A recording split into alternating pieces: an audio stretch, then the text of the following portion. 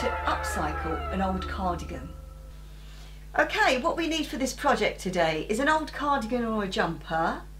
We need some wool.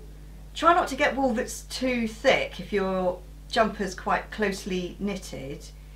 Now that wool you need to cut up into kind of a large two inch strips, so maybe two and a quarter long strips. Do loads and loads of those and you definitely need a latch hook which is one of these things and it's got this open and close bit there. Now you might have already worked out what we're going to do to our cardigan. I think the latch hook is a bit of a giveaway. Um, basically what I'm hoping to be able to do is to kind of do like a, a rug effect on the front of the cardigan. Now like I said before you need to cut up your wool into these um, strips, which I think mine are mine are about two inches, which is one, two, three, four or five centimeters. So I had to split my wool, but if you don't buy such enormously chunky wool, like I have, you'll be all right. So I'm just twisting it around just to make it a bit thinner. So I'm making a loop, I'm putting it over the latch hook, and I'm going in and out of the jumper. I think I'm probably mm, a quarter of an inch, sort of half a centimetre away from the other one. And what's important is that I push it in and out of the jumper so I go past that open and closey bit. Now, whilst closing that open and close bit, I've got to make sure it traps the wool and you'll see it sort of closes that. Now I thought if I could just keep going all over the front of the cardigan, creating a kind of shaggy pile effect, it might look quite good. Now it's really important that you you catch enough of the um, cardigan, the knitted stuff, when you poke it through. So look, I'm going there. Making sure the door's closed before and then I pull it back through like that. Now I think that's quite good. Now I don't know how long this is going to take me to do. I imagine it's going to take me ages and ages.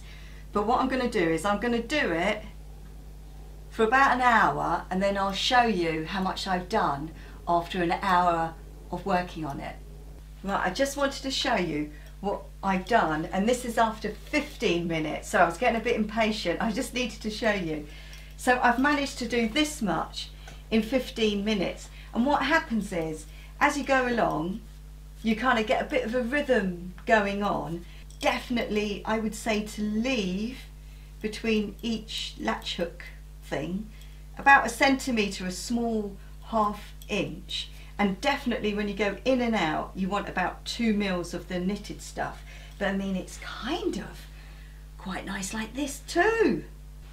Okay this is after about 25 minutes. I've managed to do two rows but I'm going to still keep going.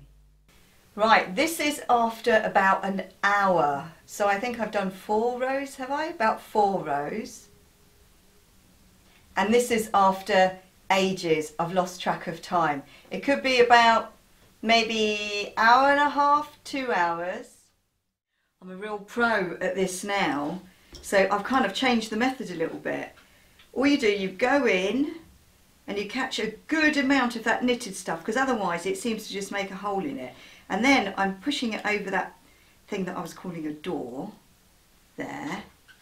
And then I'm wrapping my strip around it trapping it in the door and really giving it a tug to pull it through. Now I've only got that much to do. So look at that. I love it so much. Look at it. But I've got to say, this is hours later. And I have actually only covered one side. Now I'm choosing not to do it at the back because I like the look of it not being at the back.